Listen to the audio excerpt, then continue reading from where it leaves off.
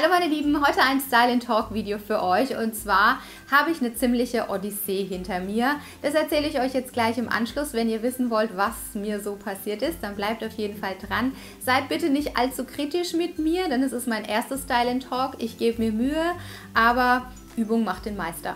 Genau, das wollte ich noch dazu sagen. Und wenn es euch jetzt interessiert, wie dieser Look hier entstanden ist, mein Alltags-Make-up, dann bleibt auf jeden Fall mit dabei. Ich würde mich freuen. Viel Spaß beim Video und los geht's.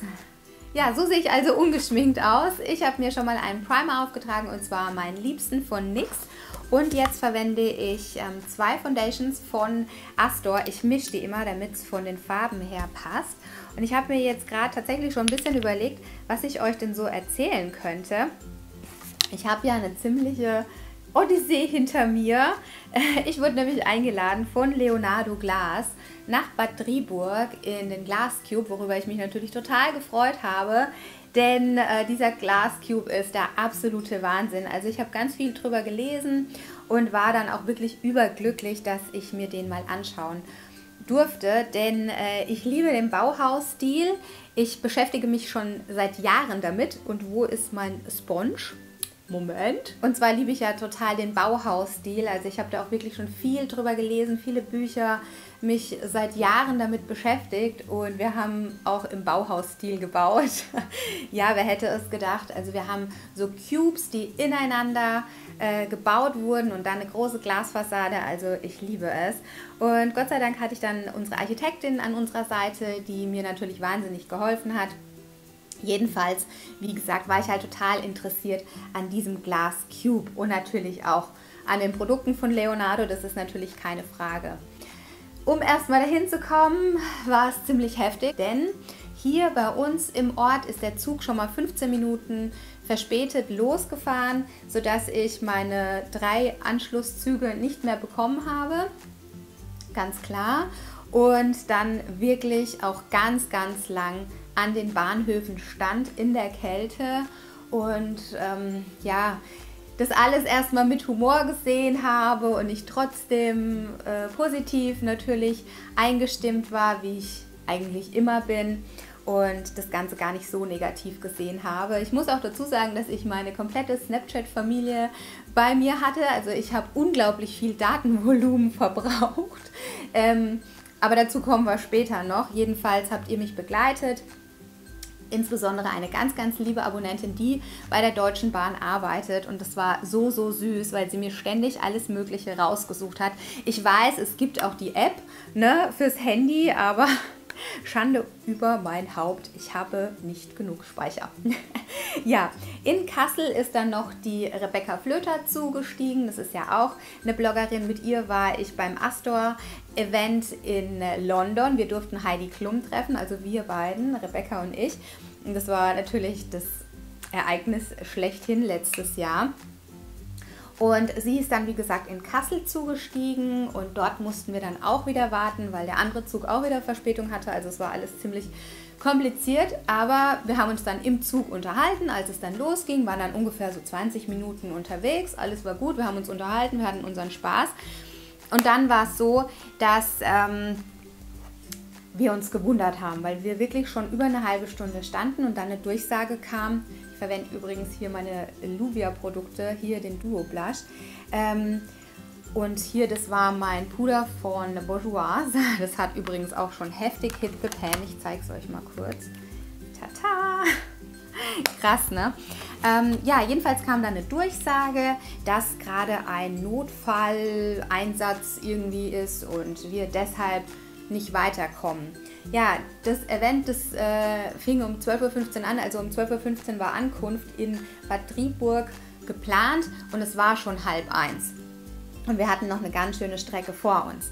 Und irgendwie nach einer halben Stunde habe ich mir gedacht, Mensch, jetzt gehst du mal raus ne, und guckst du mal, was da los ist. Auf jeden Fall bin ich aus dem Zug ausgestiegen und dann waren da Feuerwehr, Notarzt, Polizei und irgendwie wussten wir nicht, was los ist. Naja, gut. Jedenfalls lange Rede, kurzer Sinn. Ähm, wir sind um 2 Uhr erst in Bad Driburg angekommen, was natürlich total doof war. Jetzt im Nachhinein haben wir erfahren, dass jemand gestorben ist im Zug. Ja, zwei Abteile hinter uns. Das konnten wir natürlich nicht wissen, ne? Ist klar. Jedenfalls waren wir dann dort beim Event und es war total schön, alles zu sehen. Wie gesagt, ich hatte einen Riesenspaß. Ich muss mal kurz konturieren. Moment. Reden und schminken ist ein bisschen schwierig.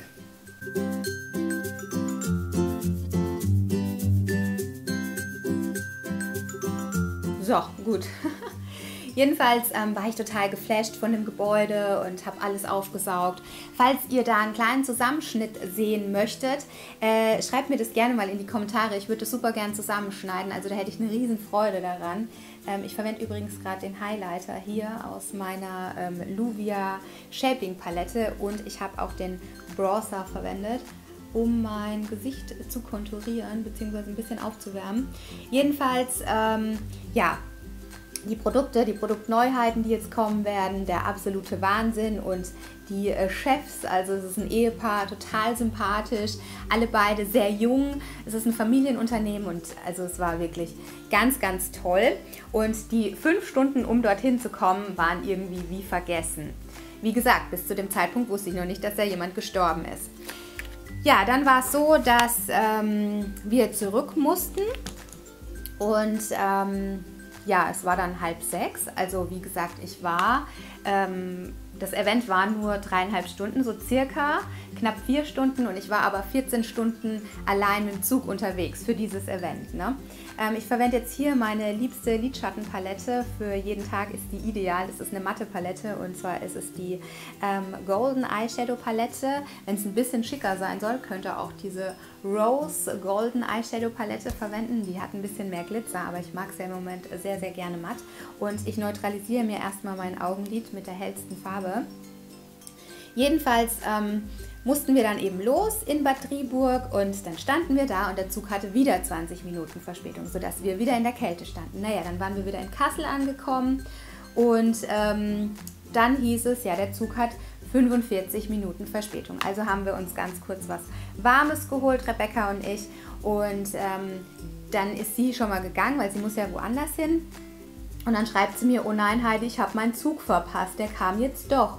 Oh Gott, dann habe ich natürlich Panik bekommen, weil der nächste, der wäre erst zwei Stunden später gefahren. Dachte ich mir, komm, gehst du lieber mal runter, ne? An dein Gleis und bleibst lieber dort stehen. Ja, dann stand in der Anzeige 55 Minuten Verspätung. Leute, ich bin bald wahnsinnig geworden. Ich war trotzdem immer noch irgendwie lustig und positiv, habe mit euch rumgeschakert auf Snapchat. Das war ja alles gut. Ich habe mich auch windgeschützt gestellt. Natürlich, ich stelle mich ja nicht direkt vor an die Gleise. Und ähm, ich nehme jetzt hier übrigens meinen liebsten Ton. Das ist so ein Mauve-Ton. Ich habe hier schon sowas von Hit the Pan. Ich blende euch das mal ein. Das ist mein absoluter liebster Ton im Moment, den ich tagtäglich verwende. Ja, jedenfalls ähm, war ich da eben gestanden, ich mit meinem Kleid. Ne? Ich hatte zwar eine Thermostrumpfhose an, klar, aber ich war dann irgendwann echt verzweifelt. Ich habe meine Fußzehen nicht mehr gespürt und ich habe mir dann aus Verzweiflung, das habe ich euch auch auf Snapchat erzählt, den Pulli, den ich auf der Hinfahrt anhatte, um meine Hände gewickelt und habe mir den Rock, den ich auf der Hinfahrt anhatte, unter mein Kleid gezogen. Leute, ich war echt durch, ne? Ich war echt durch. Und dann ähm, ja, 55 Minuten bei minus 11 Grad, minus 11 Grad, ja, am Bahnhof gestanden. Es war abends um 8 dann mittlerweile und dann ging es weiter nach Fulda. Also gut, in Fulda habe ich dann erfahren von dem Zugbegleiter, dass sich wohl jemand umgebracht hat und deshalb der Zug Verspätung hatte. Um Gottes Willen, ich war total geschockt, ich war so, so traurig, das habt ihr auch gemerkt. Und der Zugbegleiter, der meinte aber, dass das wohl um diese Jahreszeit gar nicht so ungewöhnlich ist, dass Menschen das machen, weil sie eben, ähm, ja, ne, draußen ist dunkel und Depressionen und so. Und dann geht es halt bei mir im Kopf sofort drum ne, und dann denke ich mir, um Gottes Willen, ne, die armen Angehörigen, warum hat derjenige das gemacht? Und der arme Lokführer, die armen Menschen, die ähm, jetzt zu den Gleisen müssen, und so weiter. Also es hängt ja so viel mit dran, ja. Also was soll ich da über die Deutsche Bahn schimpfen, Leute? Da kann die Deutsche Bahn gar nichts dazu. Was können die dazu? Ganz im Gegenteil, die armen Leute, die da arbeiten, ja. Also wenn Menschen sich zu sowas entscheiden, warum auch immer, furchtbar. Ganz schlimm, ich war echt total geschockt. Und Jedenfalls war es dann so, dass ich hier natürlich dann meinen Anschluss auch wieder nicht bekommen habe, im nächstgrößeren Bahnhof, der ungefähr 100 Kilometer weit weg ist, also so ungefähr, ne? Und dann war es so, dass ich wieder am Warten war draußen in der Kälte. Echt, ich war so durch. Und dann war es so, dass ich, dass der Zug endlich kam. Ich durch den kompletten Zug gelaufen bin und geschaut habe, wo ich mich hinsetzen soll. Ne? Und das dann so war, dass im kompletten Zug vier Männer waren, nur vier Männer. Und dann dachte ich mir noch so, um Gottes Willen, ne? Also nichts gegen die Männer. Ich habe auch keine Vorurteile, ne? Aber es war halt abends. Es war schon halb zehn oder so. Es war super spät. Also keine Ahnung, ich habe jetzt nicht mehr genau die Uhrzeit im Kopf. Es war schon, glaube ich, nach zehn sogar.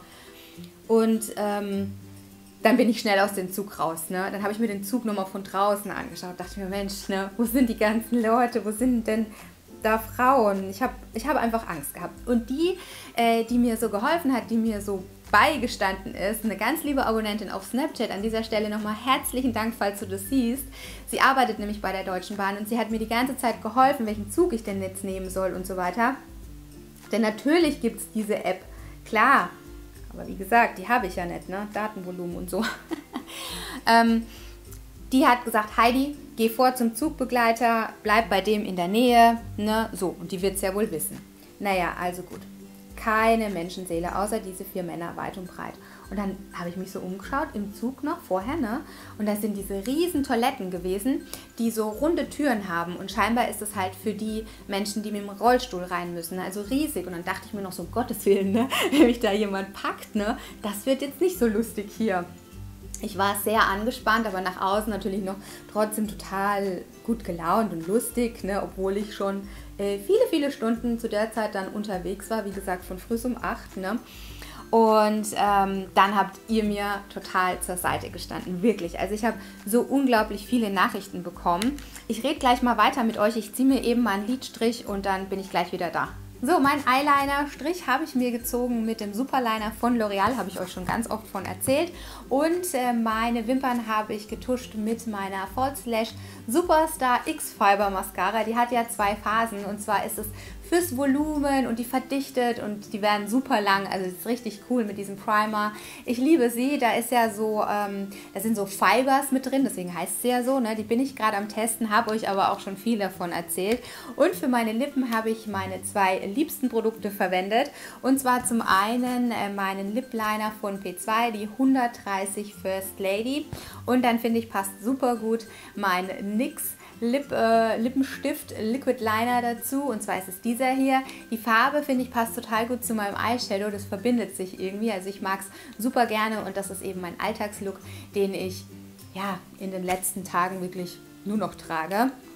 Und ich weiß jetzt ehrlich gesagt gar nicht mehr so genau, wo ich war, was ich euch jetzt zuletzt noch erzählt habe. Ich glaube, ich war bei den Männern stehen geblieben, ne, die da im Zug waren nachts und ich ganz alleine.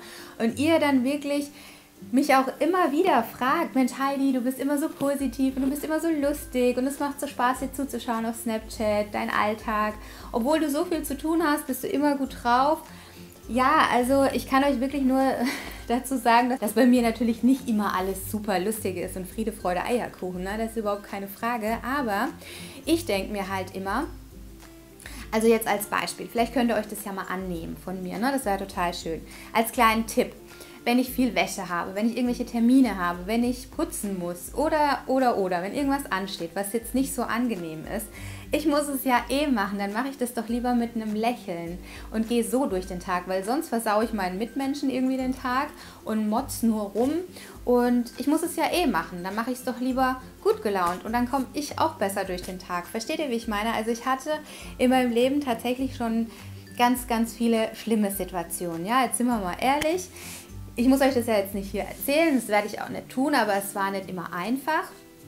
Und ab diesem Zeitpunkt habe ich mir irgendwie für mich ähm, vorgenommen, das anders zu machen. Ich mag das auch nicht, wenn ich Menschen treffe, die so negativ sind. Da denke ich mir immer, Mensch, was ist denn los? Ne? Klar, man weiß natürlich auch nicht, was komplett hinten dran ist. Es sind Probleme und so weiter. Das ist ja keine Frage. Aber wenn ihr zum Beispiel das nächste Mal mit der Deutschen Bahn fahrt, jetzt nehmen wir mal mein Beispiel, dann denkt einfach mal an mich und denkt euch, Mensch, die Heidi, ne, die war da in der Kälte und war durchgefroren, 14 Stunden unterwegs und war trotzdem gut gelaunt. Natürlich hatte ich Angst, als ich da alleine im Zug war mit den Männern. Das habe ich aber nicht nach außen getragen, weil Das ist ja innerlich, damit, muss man dann einfach, ich bekämpfe das dann einfach. Das ist so meine Art. Meine Mutter hat immer zu mir gesagt, ja, du warst schon immer so, dass du nicht rumgeheult hast. Meine Schwester zum Beispiel, die ist ganz anders. Die äh, muss sich mitteilen, die muss immer jammern und das ist ja auch ne, eine Art. Das ist ja in Ordnung. Ich liebe ja meine Schwester. Ja, also so viel dazu. Vielleicht als kleinen Tipp für euch, vielleicht könnt ihr euch das so ein bisschen annehmen. Da würde ich mich jedenfalls total freuen. Und äh, jetzt mache ich mal Schluss, weil ich glaube, das Video wird total lang. Ich hoffe trotzdem, dass es euch gefallen hat. Wie gesagt, seid nicht allzu kritisch mit mir. Hinterlasst mir aber trotzdem Kommentare, würde ich mich total freuen. Ich habe übrigens auch noch eine mega Verlosung auf Instagram im Moment für euch. Und zwar durfte ich mir ein paar Produkte aussuchen vom äh, Shop Spatacula heißt der. Genau, ich hoffe, dass ich es richtig ausspreche. Ich habe jetzt hier nur mal stellvertretend ein Produkt, die anderen liegen alle hier. Und zwar durfte ich mir einige Produkte aussuchen. Das ist mit Naturkosmetik, also ganz, ganz interessante Produkte, die ich am Testen bin. Und die allergleichen Produkte habe ich dann für euch nochmal bekommen, damit ich sie verlosen kann. Da könnt ihr gerne mal vorbeischauen. Ich hoffe, ihr freut euch. Ja, ansonsten könnt ihr natürlich meinen Kanal kostenlos abonnieren, dann verpasst ihr auch keine Videos mehr. Ich würde mich auf jeden Fall total freuen, wenn ihr auch bei meinen zwei letzten Videos mal vorbeischaut. Alle Produkte werde ich euch mal unten in die Infobox schreiben, falls euch da irgendwas interessiert. Und jetzt wünsche ich euch einen wunderschönen Tag oder Abend, je nachdem, wann ihr das Video schaut. Lasst es euch gut gehen und hoffentlich bis zum nächsten Mal. Tschüss!